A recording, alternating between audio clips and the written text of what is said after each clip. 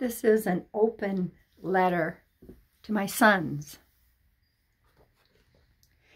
In this place called Earth, things are always shifting and changing, yes? Nothing ever stays the same. The tides of our lives ebb and flow, the motion of declining and rebirth. I'm not speaking at the moment of the flow, but the ebb. Sometimes, in order for the rebirth, one must stop and face the decline, the moment of surrender, the moment of looking deep within to seek answers when pain or anger burst forth. I have had many ebbs and flows in my long lifetime, but it's in the ebb times where I found my greatest teachers. I wish nothing but the utmost awesome journey for you.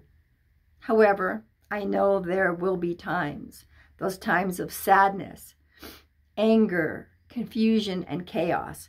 I will share how I became who I am today, which of course I am still ebbing and flowing, but have learned a few things along the way which may help you. For one, I have learned to feel the sadness, the grief, the anger, to sit with them and seek inner guidance. I found that I truly wanted to heal and also realized that I needed to feel it to heal it. Secondly, I realized that revisiting my old traumas and the pain associated with them was a temporary moment in time, and that in truth could no longer truly hurt me. Thirdly, I realized that holding this within was causing me unnecessary ailments both physically, spiritually, and psychologically. It was affecting my relationships with those I loved dearly and those that I so wanted to love, yet didn't allow for the fear of pain. And fourthly, I learned that I did not need to carry those burdens, those things I carried over and allowed to spill onto my dearest ones in my life. You. At this juncture of my life, I speak out loud my apologies for allowing those generational traumas to go unhealed perpetuating a continuing cycle. I have done much soul searching in my later years and have come to an awesome time in my life, one filled with peace, understanding, and forgiveness. Please do not allow any anger or sadness to go unchecked as I did. I know we all carry certain loads in our lives but remember that you do not need to. I encourage you to take the time to tune in and feel those emotions in order to heal them. We always say, I'm never going to be like my parent or those that have caused us pain. Yet later on in life, see that we did exactly that. I know I did. No more of that. I needed extra help and support, and I found it.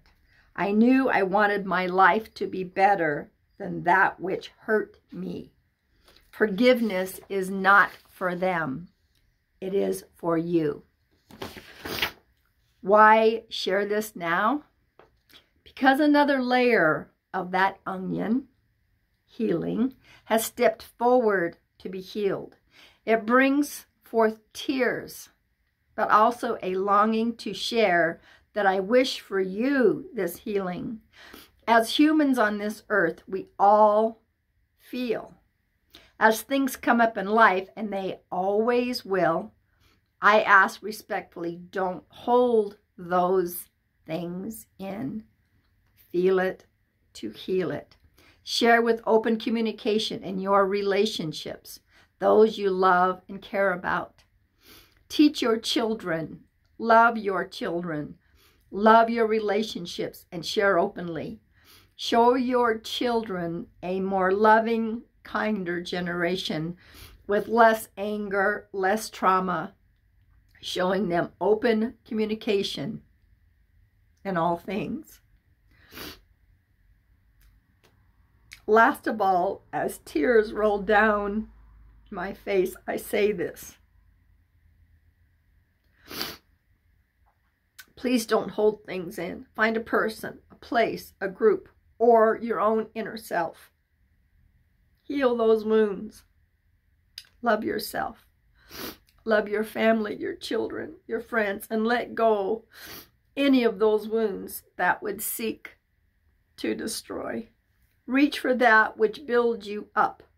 Manifest awesomeness in your life and live, really live, as I have finally been able to do. I love you with every spark of energy and sparkles of light within and around me. I love you, Mom.